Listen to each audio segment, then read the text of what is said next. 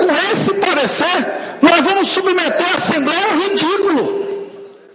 Porque como que você fundamenta, deputado Chico Preto, que uma emenda LDO de 2012 não pode ser contemplada porque já está garantida na lei orçamentária de 2011. Nós vamos submeter essa casa a um achincalhe. Vamos pelo menos mudar o parecer. Pelo menos mudar o parecer.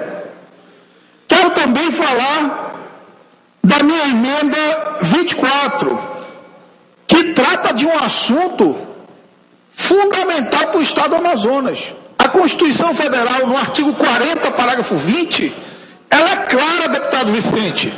Os sistemas de previdência têm que ser único.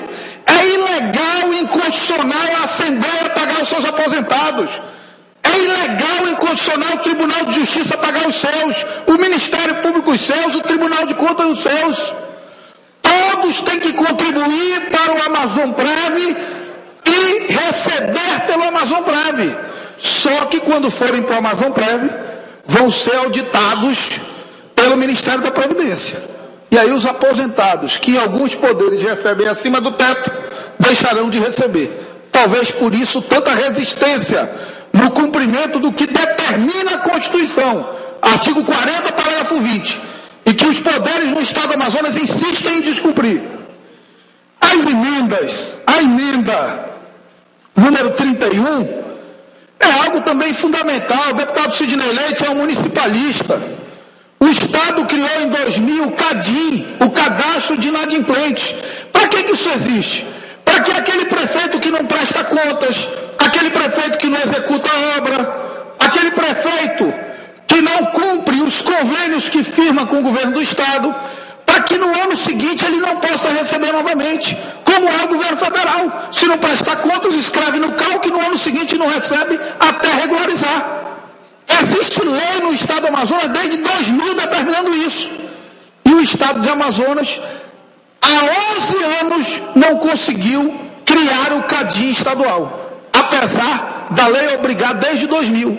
Aí vem a LDO e diz que os municípios receberão convênios até que o CADIM seja criado. Esse até que o CADIM seja criado, já passam 11 anos, 11 anos, não são 11 dias, nem um ano, são 11 anos que a lei existe e que o Estado não cria o CADIM. Não cria o CADIM para pôr fisiologismo e oportunismo político, beneficiar prefeito corrupto, prefeito que não presta contas, prefeito que aplica mal o dinheiro público de do Estado, mas que serve aos interesses políticos eleitorais do governador da hora, seja esse ou seja lá qual for. Nós temos que inverter a lógica. Só tem que liberar recurso de convênio após a instalação do CADIM, para que o governo do Estado crie o CADIM estadual. E, infelizmente, a comissão deu parecer, e aí é outro parecer que pode nos submeter a chincalhe, que a comissão deu parecer dizendo o seguinte, que o artigo, eu estou propondo alterar a redação do artigo 40. O parecer da comissão é não pode alterar, porque o artigo 40 já trata do mesmo objeto. É óbvio que trata do mesmo objeto. Eu estou propondo alterar um artigo, é óbvio que trata do mesmo objeto. No entanto, com redação diferente. Nós não podemos submeter essa casa ao achicalho, é um ridículo. E infelizmente o parecer dessas duas emendas nos submete a isso. E por fim, senhor presidente, o que para mim é mais importante, o governo do Estado há anos vem manipulando o que, é, o que significa a receita corrente líquida. Sobre a receita corrente líquida incide o 25% de repasse para os municípios de ICMS e sobre a receita corrente líquida incide o percentual de todos os poderes.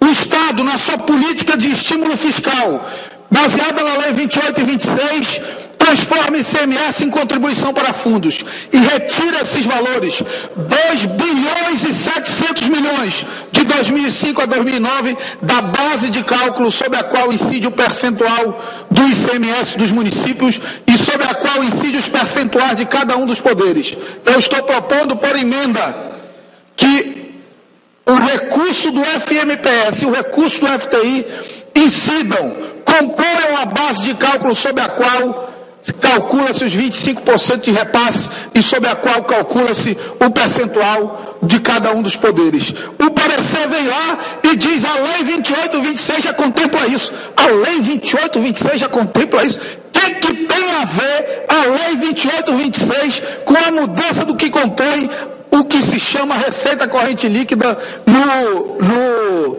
na LDO? Portanto, eu quero fazer um apelo, não só no que diz respeito às emendas, no que diz respeito a um cuidado maior quando da elaboração dos pareceres. Muito obrigado, senhor presidente.